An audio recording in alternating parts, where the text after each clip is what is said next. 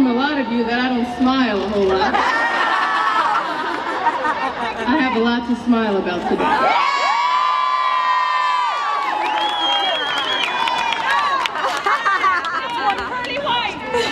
I'm going to keep this really short. Um, you know, I've been here for seven years. Um, and the reason that I'm here is because of Candace Parker.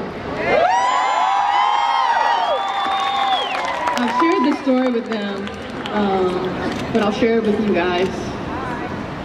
I was in Chicago. Wasn't really playing. I was a rookie. We were at LA. We were at Staples. And I didn't get in the game.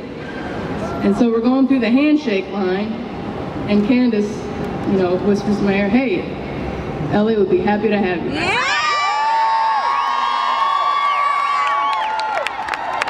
Rest is history! That's what I'm talking about. So I thanked her. I thank you guys because however many years later, we got one of these. Yeah!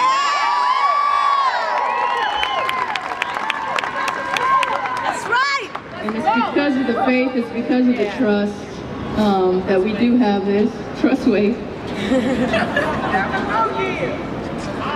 And I think that this team is capable of so many things, but I'd also want to recognize the other teams that we've had because without the Tina Thompsons, the Ticha Penicheiros, the Ebony Hoffmans,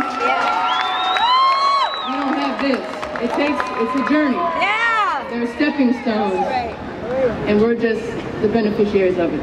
So I want to thank you guys, thank my family, friends, everybody that could be here today, um, the coaching staff, um, and I promise I'll smile more.